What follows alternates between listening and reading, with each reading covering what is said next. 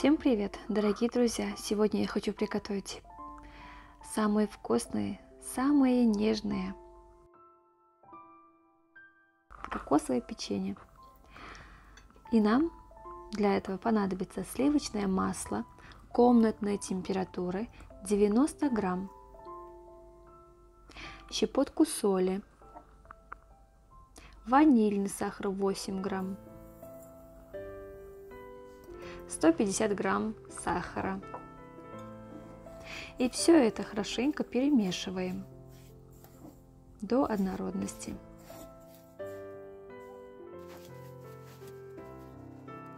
Вот такая должна быть. Отправляем сюда две яйца, хорошенько перемешиваем.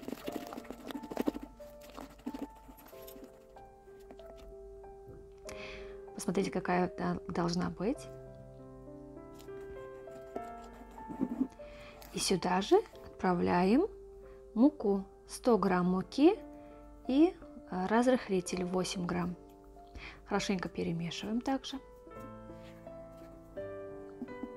Если вы хотите мягкие, то добавьте сразу 200 грамм кокосовых стружков. Если вы хотите половину сделать хрустящими, а половину сделать мягкими, то первым делом отправьте 100 грамм кокосовых стружков и отправляем готовую массу в холодильник на 20 минут.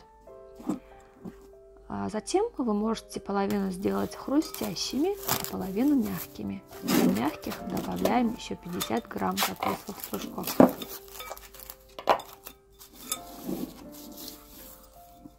Пищевой пленкой закрываем и отправляем на 20 минут в холодильник. 20 минут уже прошло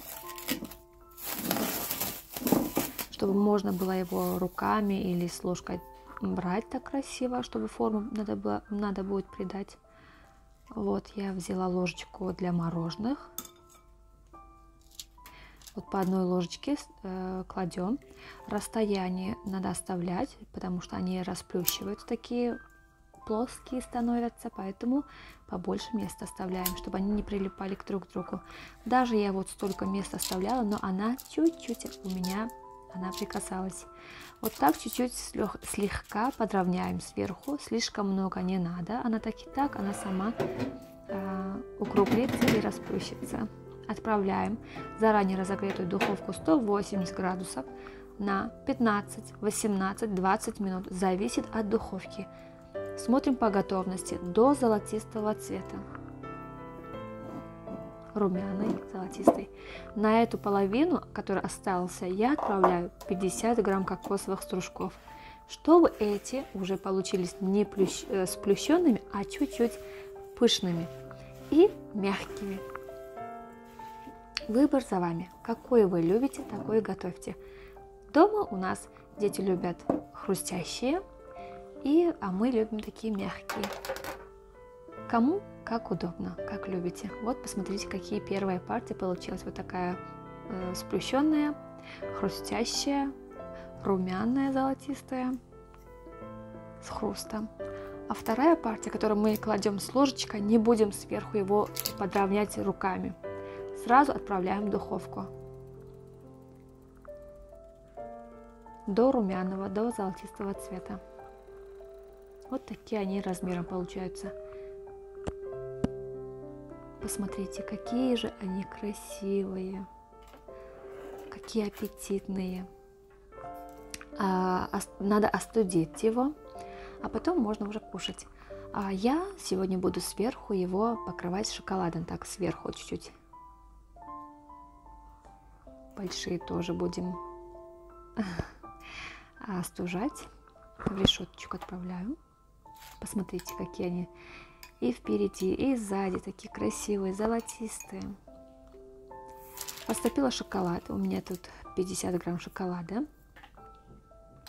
Сверху, ой, снизу ставлю пергаментную бумагу, чтобы стол не испачкать. Вот так поливаю.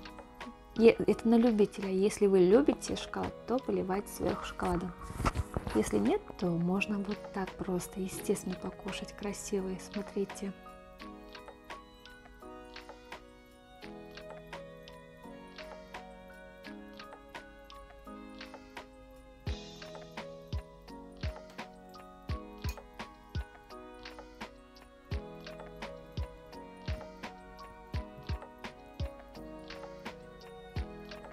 Это вторая партия, которую готовила, а это первая. Посмотрите, разница какая.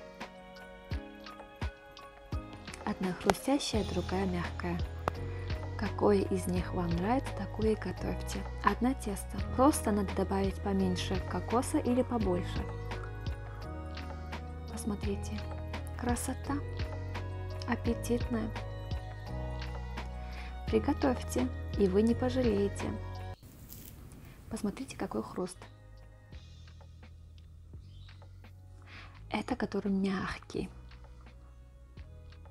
А внутри посмотрите, какая красота. Разве не красиво? Такой аппетитный. А вкус какой, ароматный. Ой-ой-ой. Дорогие друзья, срочно приготовьте, и вы не пожалеете. А второй тоже послушайте на хруст.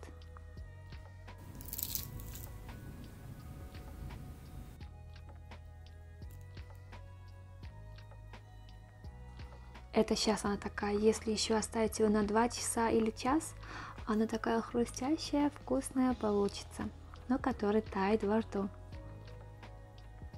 Разница вот такая.